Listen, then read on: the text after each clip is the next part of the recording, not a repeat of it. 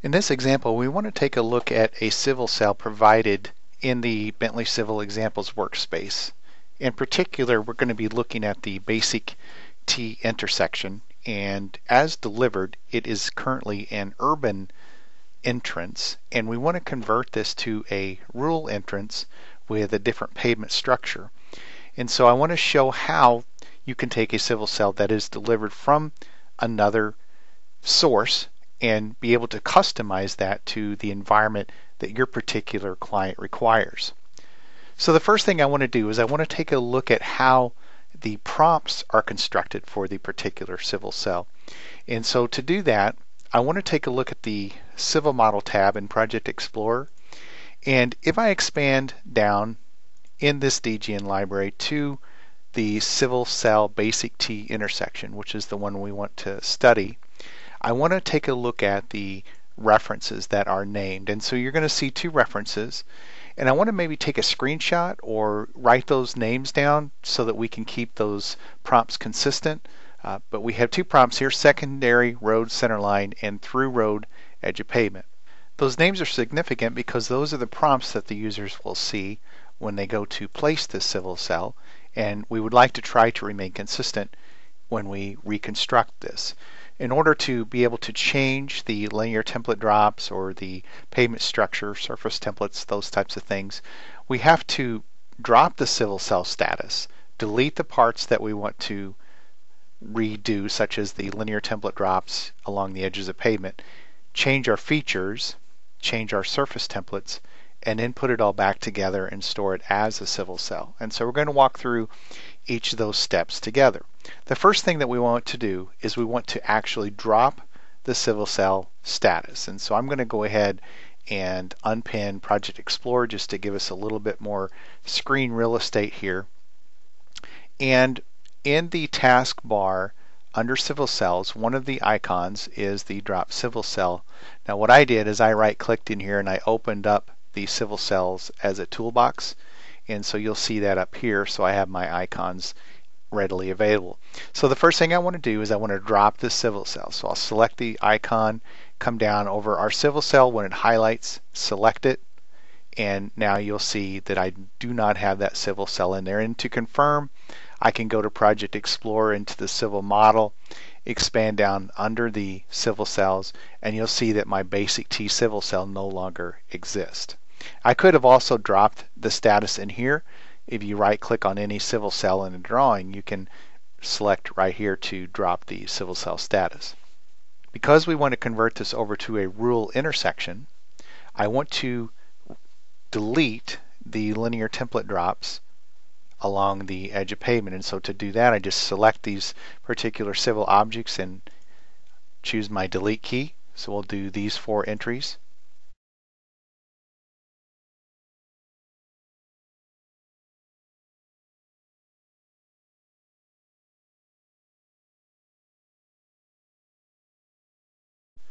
The other thing that I want to show you how to do is how do we change the uh, surface template. So right now I have concrete on top of aggregate.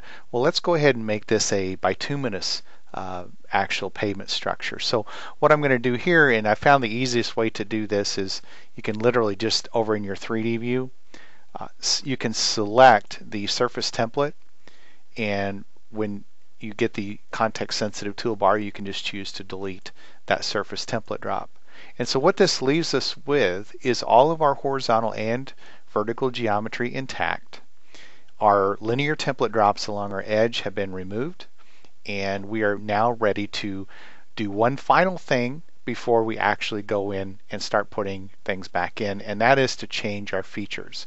So I'm going to switch back to my 2D view and I'm going to go to my reference files here and I'm going to turn off the display of the 3D model and so now all I see are the linear features that are going to be shown in my 2D drawing. And so right now I have this feature set to road edge of pavement. And so let's let's pretend that we want to uh, pick a different feature here based on the standards that we're required uh, to use for our particular client.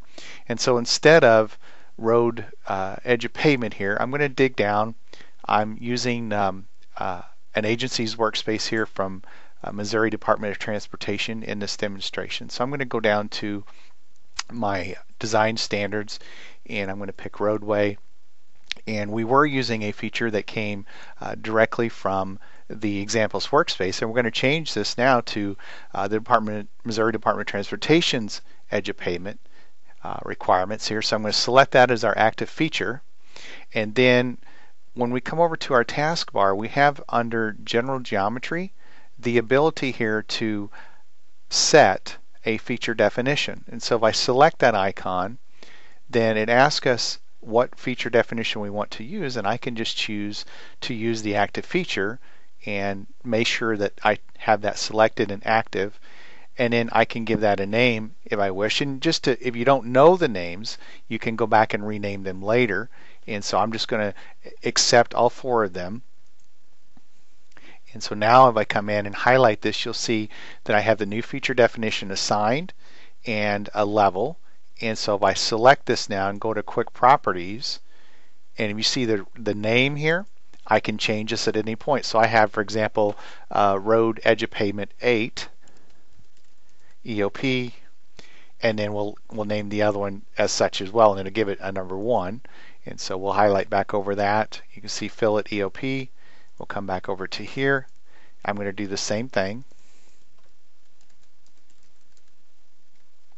and you don't have to use an underscore here um, if you don't want to but I just just out of habit I guess I do that so you see I have fill fillet EOP here and I have also fillet EOP here but it notice that it gave it a number one as a, a suffix as as the program is required to do because you can only have one of the same alignment. And then just to be consistent we'll come over here we'll call this um, edge of pavement. So we'll just abbreviate EOP, tab out of that to accept it, and then we'll do the same thing over here, and we'll call this EOP, and then that's going to, of course, give that a number one on the suffix automatically, you'll see there. So the next one I want to go ahead and adjust is this one, and right now we have a feature definition here set to road centerline. So if I'm going to be consistent with changing over to my client requirements, I'm going to go to design we have a scratch geometry, so I'm just going to use that one. The main thing that you want to do here is don't, on, on a baseline like this, don't use a feature that has the auto export, auto annotate. You don't want to put those in civil cells that can cause you some problems, so be aware of that. So we have that one set, and then the last one we have here is this uh, seam line. So I'm going to select a different feature for the seam line. Right now I have it just set to road hinge. And under design, we're going to pick the match line and set that as the correct feature definition. And so we have our match line set, we have our edges of pavement set, and we have our center line set to the proper features that we want for this particular agency. So the next step in the process is to put in our new linear template drops along our edges, or we can also apply the surface template to establish the thickness of our pavement based on the standards that we want to utilize. It doesn't really matter which order we do these, so I'm just going to go ahead and apply the linear templates first. And so to do this, I typically like to go over to my taskbar and go down to the 3D geometry and select this icon, apply linear template, because if you use the icon from the taskbar, it basically loops you through the command until you have them all selected. So we'll pick that one. And the first thing it's going to do is to locate element to apply the linear template to. And so I'm going to select this and then it asks us to select our template. And so I'm going to select Alt down arrow and it's going to pull up my picker for my templates. And I have one prepared here under my um, templates category, shoulder with 4 to 1 tie slopes and a vertical edge here along the uh, where we tie into our pavement structure. So we'll select OK to that, accept it with a left mouse click, and then we want to make sure and hit the Alt key lock to start and accept, Alt key locked to end and accept, and then we pick the side. And if we had exterior corners where we didn't have arcs, we could set the frequency of drops within the degree value, but we don't have any external corners, so we can just accept that default. And if you want to give it a description, you can. And when then we'll let that process and it takes us right back into the command again. And so we'll locate our next one. And now we can pretty much just walk right through the prompts because it's going to already be selected to alt lock to beginning and end. And then we'll go over here to the next one. Doesn't really matter, again, what order. And then last but not least.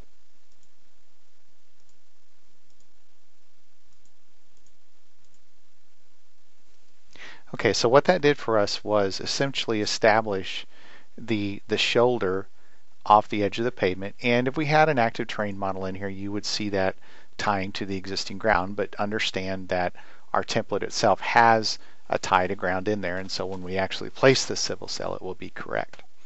The last thing we want to do before we rebuild this civil cell is we want to apply the thickness to the pavement structure. To do that, we simply need to select the terrain model.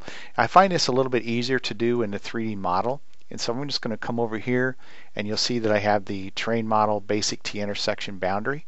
And I'm just going to select that. And then it asks me to come over and choose an entry from my context sensitive toolbar. And if I hold down right here, you're going to see this apply surface template icon. And so I'm going to select that. And it asks us, do we have an external clipping boundary? And in this case, we don't. So we'll say no. And then we hit the Alt down arrow key combination. And I'm going to go actually just pick my rule template. And so I have some asphalt pavement here uh, with shoulders and I'm going to pick this particular entry right here. And notice this is an entire typical section or template, and that's okay because the way this works is it looks at the insertion point and then goes vertically straight down. And so it determines that it has one, two, three different materials in this template, and it understands the thickness of each of those materials based on where those points are. And so I'm just going to pick this template, and then we will accept that choice and then data point one more time to accept the placement. And so now if we take a look here, we have essentially a new type of structure applied to this and we have our new pavement, we have our new shoulder bituminous, and at that point we're pretty much done with the reconstruction. We've redefined our edges of pavement features, our centerline features, our seam line features, the depth of our uh, terrain model and our, our surface template feature has been redefined, and our linear templates along the edges have been redefined.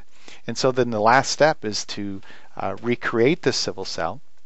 And so in our particular civil cell toolbar, we have the option here to create a civil cell. And so I'm going to give this a, a name. I'm going to call this basic T. We'll tab out of that.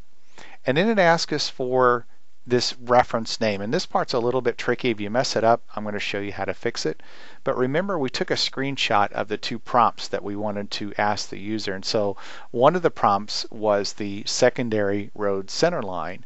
And so if I type that in here, before I accept anything, secondary road, and I'm going to type it exactly like they did. I'm going to tab.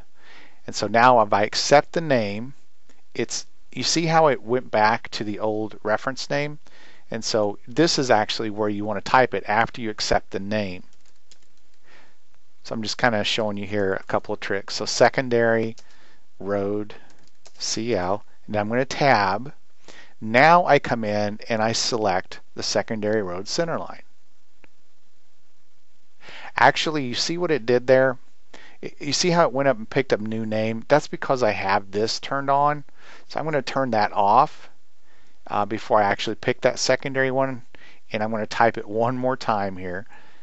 And hopefully that'll get it right this time. And then I'm going to come in and I'm going to pick this. And it says to locate the next one. And the next one is going to be through road edge of pavement tab and then I'm going to pick this one, our placement reference. Notice how everything highlights. If it doesn't highlight, then you have some problems with your references. That's it. So we write reset to accept that.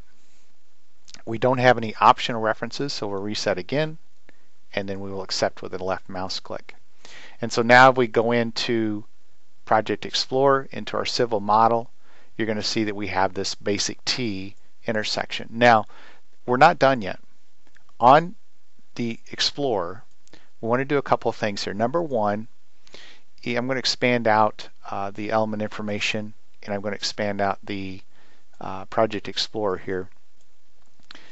Kind of zoom in, zoom out a little bit on the cell that we're working on. Is there. But what I want to show you are a couple things. One is when you right click here and go to properties, one of the things that you need to check here is under general, valid for placement is yes or no. If this is no, then you've made a mistake, it doesn't like, you need to go try again. Okay, for example, one thing I've seen people do is I've seen them not drop the civil cell status and try to replace linear templates in there or these surface templates, and when they do, that makes it invalid, and so that's why you have to drop it first. So that's good. And then the next thing we want to check is on our reference names, did they actually take? And so you're going to see that, that the through road edge of pavement took okay, uh, but I made a mistake here on this one. So I'm just going to rename it now. Um, this is going to be secondary road CL.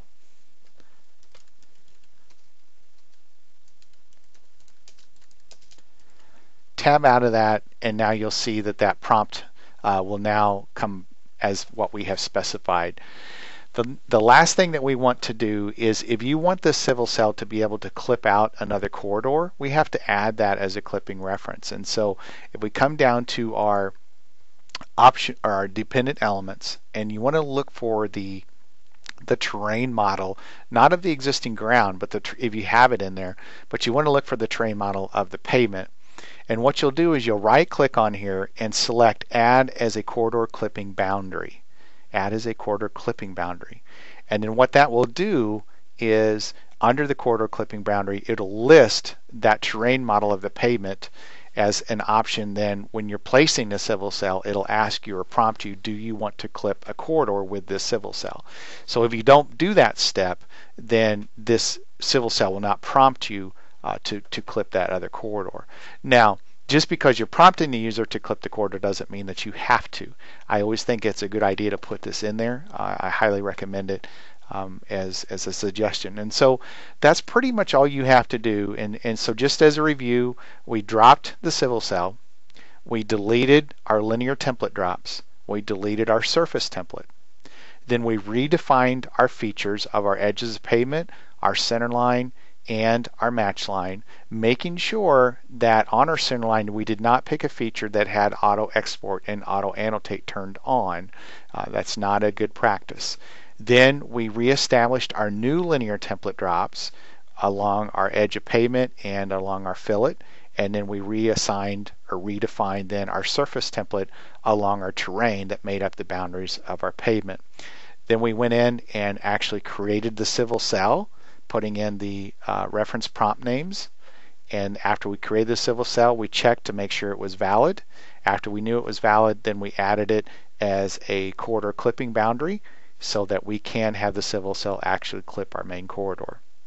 So hopefully you'll find this useful. This will work with any civil cell that you are given. You just need to drop it, remove what you don't want, fix what you do want, the key point is maintain the geometry as it's been established and then everything else is basically just fluff around the edges and I think if you follow this practice it'll help you tremendously in taking advantage of other people's uh, civil cells and while you're doing this and after you've dropped everything if you want to change the default radius value or the default pavement width before you start putting in the linear templates and the surface templates that's perfectly acceptable as well. Best of luck and I hope that you find this video helpful.